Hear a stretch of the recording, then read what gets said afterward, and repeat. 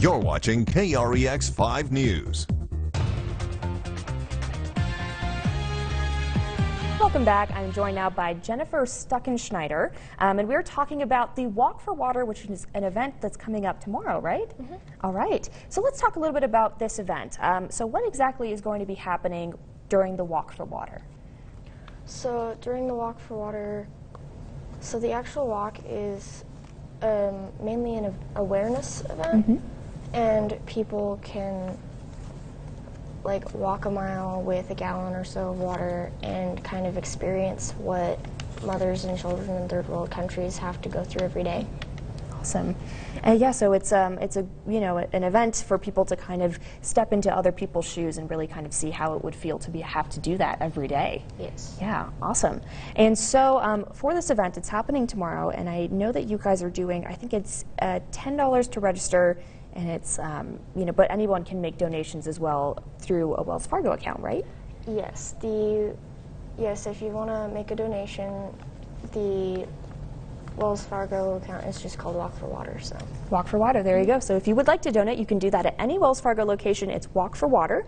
Um, so how did you come up with this event? Because this is such a cool thing for people to really kind of get into other people's shoes. I was doing a school project when I was younger, and mm-hmm. then I found out. I ended up watching a video on it and finding out that a lot of kids are missing school and like missing so many opportunities, and mothers aren't able to. Yeah, there's.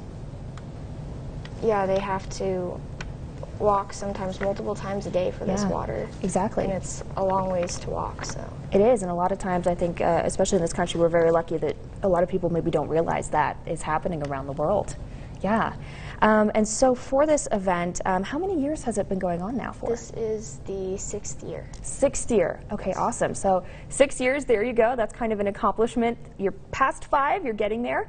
Um, and it sounds like this is also, it's an awareness um, walk, but also I know with the funds, you also donate, I think, wells and different water things to different countries as well.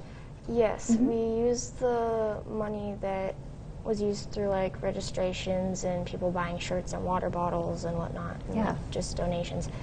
And we use that to make wells and latrines and like water pumps and stuff. That's awesome. Yeah. And I think it's so cool that you came up with this idea too. Um, there's the full screen there so you can see all the information. Again, it's happening tomorrow. Lots of things going on Saturday, but this is a really awesome event. Um, registration begins at 1 o'clock. I think the walk actually begins at 2, right? Yes. Okay, and it's happening in CMU Plaza. And again, even if you don't necessarily want to walk, you can donate to that account as well on camera. So, um, yeah, this is an awesome event. We're very excited for this. I think it's so cool that you came up with this idea. It's been going on for six years, um, and to raise awareness for people in other countries as well.